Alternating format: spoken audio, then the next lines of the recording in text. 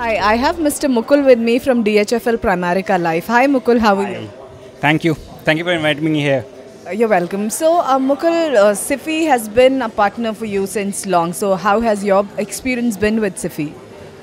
Sify is a very critical partner for us. Uh, Sify manages our networks and also uh, uh, the private cloud that we have. And today, um, I, I can say that Sify is one of our biggest partner in the technology landscape. Uh, we recently launched a very transformative product called Dengue Shield on the cloud, and we had no hesita- hesitation to go to anyone else but Sify to support us in this initiative. So I think Sify is a great partner. So, there are a lot many partners available out there in the market. Why Sify? I think the uh, the agility and the flexibility that Sify team showed, uh, we had to go live in two months and everything was done.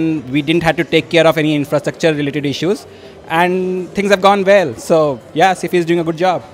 So, there are a lot of companies, those who want to go digital and looking for a transformation. So, if they want to go ahead with a partner, so what would your advice be for such companies to pick and choose a partner?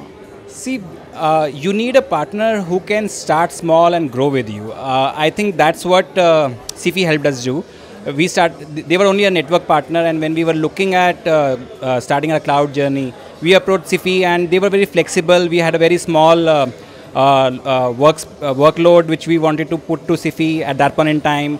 Sify supported us. Then we wanted to increase it. Sify supported us.